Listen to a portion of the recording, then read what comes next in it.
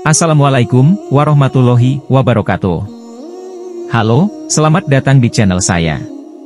Kali ini saya akan membahas tentang sejarah Zionis Israel, sebuah gerakan politik dan keagamaan yang membawa ribuan orang Yahudi dari seluruh dunia kembali ke tanah air kuno mereka di Timur Tengah. Apa itu Zionis? Bagaimana awal mula gerakannya? Dan apa hubungannya dengan konflik Israel dan Palestina? Mari kita simak bersama. Zionis berasal dari istilah Zion, yang merupakan istilah Ibrani yang merujuk pada Yerusalem. Sepanjang sejarah, orang-orang Yahudi menganggap daerah-daerah tertentu di Israel sebagai tempat suci.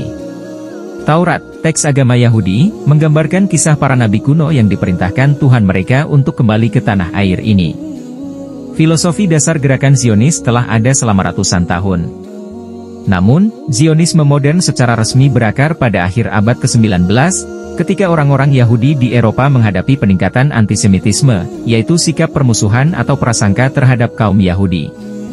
Salah satu peristiwa yang memicu gerakan Zionis adalah kasus Dreyfus, yang terjadi pada tahun 1894. Alfred Dreyfus, seorang perwira Yahudi di tentara Perancis, dituduh palsu dan dihukum karena pengkhianatan. Peristiwa ini menimbulkan kemarahan dan protes dari orang-orang Yahudi dan banyak lainnya. Salah satu tokoh Zionis yang terinspirasi oleh kasus Dreyfus adalah Theodor Herz, seorang jurnalis Yahudi dari Austria-Hongaria. Dia mendukung ide bahwa bangsa Yahudi harus memiliki negara mereka sendiri di tanah air mereka yang dulu. Pada tahun 1897, Herz menyelenggarakan Kongres Zionis pertama, yang diadakan di Basel, Swiss. Kongres ini menghasilkan deklarasi berikut. Zionisme bertujuan untuk menciptakan tanah air yang aman dan terjamin secara hukum bagi orang-orang Yahudi di Palestina. Untuk mencapai tujuan ini, Kongres ini mengajukan program berikut, 1. Mendorong imigrasi orang-orang Yahudi ke Palestina secara sistematis dan terorganisir.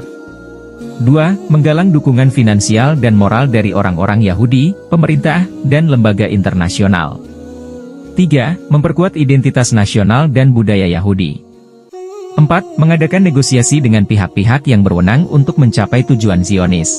Gerakan Zionis kemudian mendapatkan dukungan dari Inggris, yang mengeluarkan deklarasi Balfour pada tahun 1917.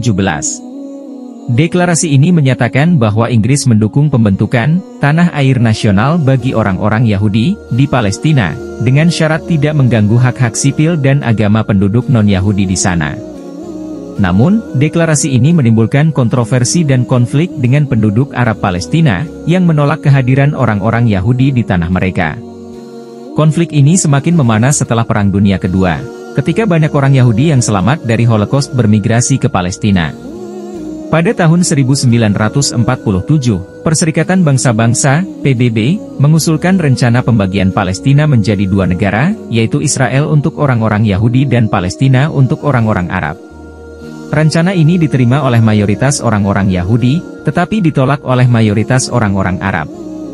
Pada tahun 1948, orang-orang Yahudi di Palestina mendeklarasikan kemerdekaan Israel, yang diakui oleh banyak negara, termasuk Amerika Serikat dan Uni Soviet.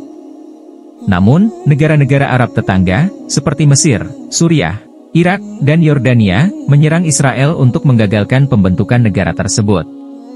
Perang ini berakhir dengan kemenangan Israel, yang berhasil mempertahankan wilayahnya dan bahkan merebut sebagian wilayah Palestina. Sejak saat itu, konflik antara Israel dan Palestina terus berlanjut hingga hari ini, dengan berbagai perang, pemberontakan, negosiasi, dan kesepakatan damai yang gagal. Zionisme menjadi salah satu faktor yang mempengaruhi konflik ini, karena dianggap sebagai ideologi yang mengklaim hak eksklusif atas tanah Palestina. Zionisme juga dikritik sebagai gerakan yang agresif dan diskriminatif, yang mencabut hak-hak warga Palestina yang terjajah. Namun, tidak semua orang Yahudi mendukung Zionisme. Ada juga orang-orang Yahudi yang menentang Zionisme, baik karena alasan agama, politik, atau moral. Mereka berpendapat bahwa Zionisme bertentangan dengan ajaran Yudaisme, yang melarang orang-orang Yahudi untuk mendirikan negara sendiri sebelum kedatangan Mesias. Mereka juga mengecam Zionisme sebagai gerakan yang merusak perdamaian dan keadilan di Timur Tengah. Demikianlah sejarah Zionis Israel, sebuah gerakan yang memiliki pengaruh besar dalam konflik Israel dan Palestina. Semoga video ini bermanfaat dan menambah wawasan Anda. Jangan lupa untuk like, komen, dan subscribe channel saya. Sampai jumpa di video selanjutnya. Terima kasih.